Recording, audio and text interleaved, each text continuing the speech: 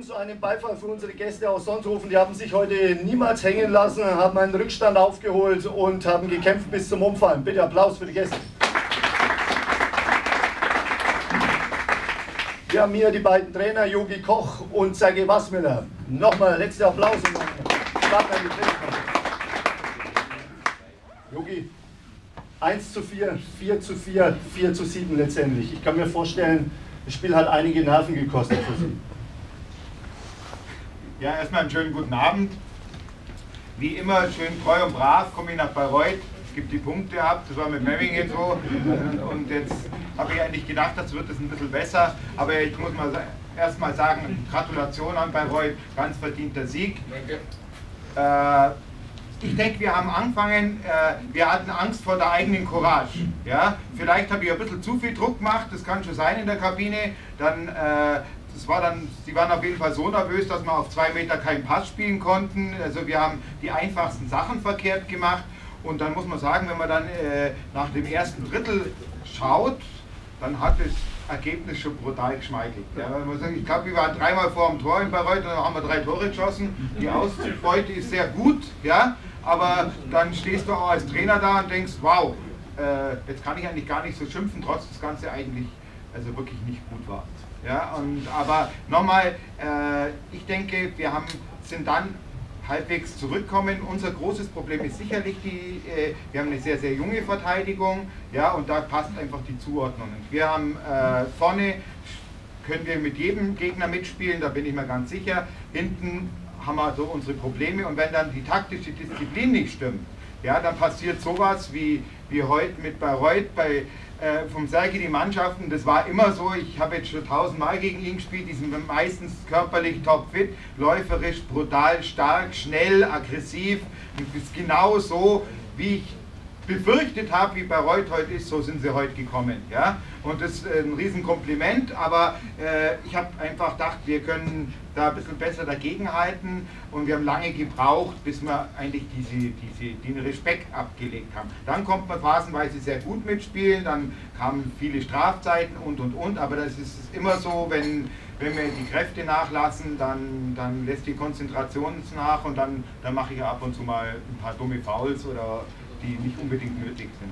Aber wie gesagt, also wir arbeiten an, an, unseren Schwächen und ich bin ganz zuversichtlich, dass ich das hinkriege. Wie gesagt, wir haben eine, eine, eine, junge Mannschaft mit viel Talent und unser Gegner ist sicherlich nicht wir, unsere Gegner sind ein paar andere und das war heute eine gute Lehrstunde, aber was ich sagen muss, wo ich wirklich stolz drauf bin, die haben sich wirklich nicht hängen lassen. Die, die da sind sie so, wahrscheinlich so wie ich, da fightet man bis zum Schluss und, äh, und so kann man mit erhobenem Haupt heimfahren, auch wenn die Jungs jetzt enttäuscht sind, aber gut, da kann, da kann man drauf aufbauen. Danke.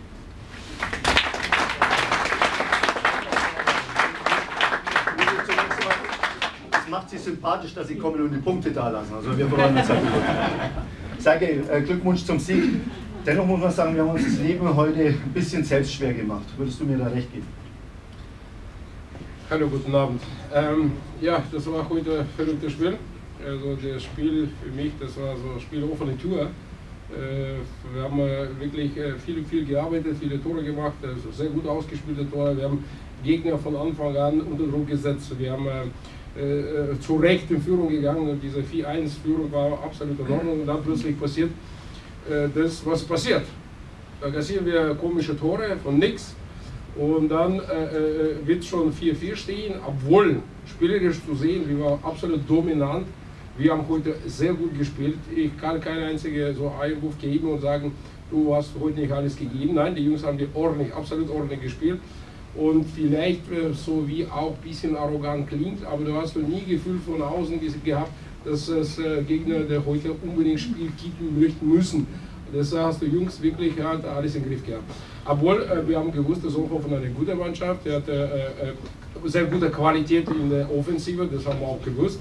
Aber wir wollten auch Spiel entfernt halten, also die aggressive Vorschicken zu spielen, weil diese 2-1-2-System hat sehr gut funktioniert.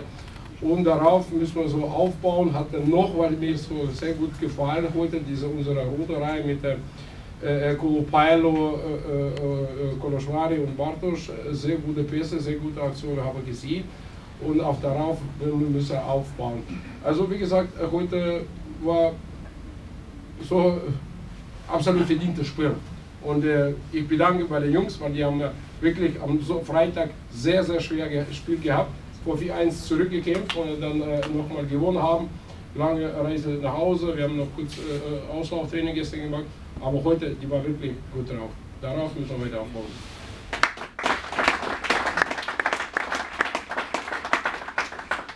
Du bist dann relativ früh den Torwart gewechselt und dann ist Jennifer Haas gekommen. Ich finde, hat ein tolles Spiel gemacht. Nationaltorhüter, den haben wir heute gesehen. Jo, also deswegen haben wir zwei Torhüter. Ja. Mann Frau, Mann Frau ist egal. Ja, äh, es ist einfach so, ich denke, da musste A, war Corbine jetzt nicht ganz glücklich, B, du musst ein Zeichen setzen, ja, und auf die Jenny kannst du dich immer verlassen. Ja, also äh, zwar Jenny war auch mit Memmingen hier schon mal, da hat sie das auch sehr gut gemacht. Ja, also die, die Jenny, also in der Regel kannst du dich auf die verlassen. Ich bin ganz, ganz glücklich, dass ich zwei solche Torhüter habe. Gibt es Fragen aus dem Publikum von der Presse?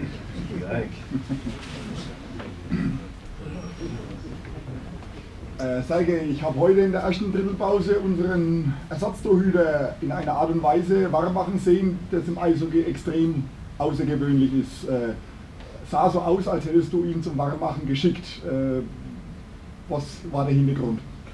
Ähm, ähm, so, Grund war ganz einfach ähm, die Spieler, wo wenig Eiszeit haben, das trifft nicht nur Torwart, sondern auch die Spieler, wo die auf die Bank sind, die jüngeren Spieler, die muss sich immer bereit sein, äh, seine Position oder seine Eiszeit, wenn er bekommt, bereit sein, auf Eis zu gehen, warm genug sein, nicht durch Verletzung gefasst zu haben und äh, sofort ins Spiel äh, rein äh, zu kommen.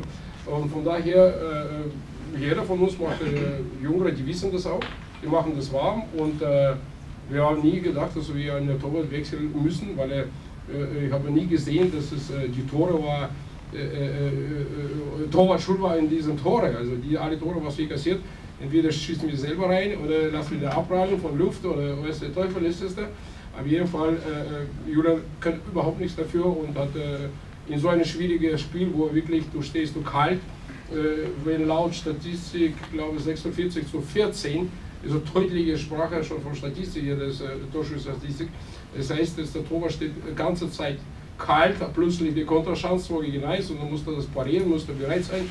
Und äh, für Torwart ist es keine äh, leichte Aufgabe. Auf jeden Fall, äh, äh, wie gesagt, es war nichts außergewöhnlich, haben wir ganz weiter gearbeitet und die Spieler haben die ganz normal aufgehört.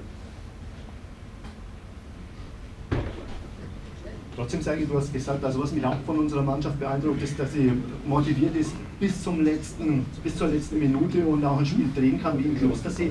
Aber ich weiß, dass du sehr viel Wert auf die Defensive legst. Acht Tore jetzt am Wochenende, da bist du wahrscheinlich nicht zufrieden. Äh, also, ich weiß es nicht. Also, was, was, was, wo kommt ihr ganz, also, defensiver, offensiver? Ist Eishockey ganz einfach. Fünfmal vorne, fünfmal hinten. Also wir brauchen jetzt nicht über die Taktik erzählen, ich kann äh, äh verschiedene Mode äh, Modelle hier erzählen, hier und da wird gespielt. Wichtig ist, dass es wir auch, dass es die spielerisch auch in Überzahl seine Tore machen, Aufgabe erledigen, weil äh, die Leute, wenn die Überzahl spielen, dass wir vertrauen diese auch Leute.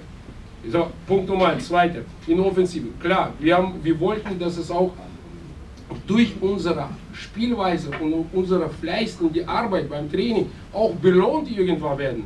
Dass wir nicht nur drei, vier Tore schießen, vielleicht fünf, sechs, wie heute sieben. Und das hat irgendwann der Knoten wird geplatzt. Aber die Meisterschaft, wenn du willst, um da vorne mitzuspielen, musst du ein sehr gutes defensive äh, äh, Modell haben. Und die Meisterschaft gewinnt meistens die Mannschaft, die defensiv sehr gut spielt. In Offensive kannst du ein, zwei Spiele gewinnen, aber das gesamte Paket, das muss beide funktionieren, inoffensiv auch, sowie auch in defensiv. Die Start auf Großersee ist, das haben wir heute gesehen, die waren vorhin 6-2 vorne in Zelb. Das ist auch ein Ausrufezeichen. Jetzt habe ich noch eine Frage an Jogi Koch. Äh, Jogi, Sie sind unter der Woche als Trainer geworden, Dave Rich abgelöst. Ähm, wo wollen Sie Sonthofen hinführen? Oder Interimstrainer, genau. Wo wollen Sie Sonthofen hinführen oder äh, helfen Sie vielleicht bei der Suche nach einem äh, langfristigen Trainer? Ja gut, äh, was soll ich da jetzt sagen? Ich bin sportlicher Leiter, ja, und äh, gut, also natürlich sucht man sich nach, also er hat es ja gesagt, ich bin Interimstrainer, ja, und äh, ja, jetzt, jetzt suche ich natürlich nach, nach einer, jemand, der mich absägt, ja, und... Gibt schon äh, jemanden? Ja, ja. äh, halt, nee, ich meine jetzt, äh. Also das ist letztendlich, ich arbeite mit der Mannschaft so gut ich kann, ja, und ich denke, äh, den Job mache ich schon lange genug und ich weiß auch, was ich tue und ich weiß auch, wo ich ansetzen muss und das mache ich, bis, äh, bis jemand da ist, der das Ganze übernimmt. Fertig. Also ich bin mittlerweile 55 Jahre alt, ich muss mir gar nichts mehr beweisen. Ja? Ich mache das und wenn äh, äh, die Vorstandschaft vielleicht sagt, äh, sie, sie haben einen anderen oder, oder einen besseren, dann soll er das machen, dann geht es in Ordnung. Ich, ich arbeite gern mit den Jungs und die meisten von der Mannschaft habe ich so jahrelang trainiert und äh, solange ich helfen kann, mache ich das und wenn ein anderer da ist, dann gebe ich das auch gern wieder auf. Dann wünschen wir euch auf jeden Fall viel Erfolg bei der Suche und Ihnen vielen Dank für die Aufmerksamkeit und sage viel Glück äh, nächste Woche. Ich hoffe, wir sehen uns alle wieder am Freitag gegen Schönheide. Vielen Dank.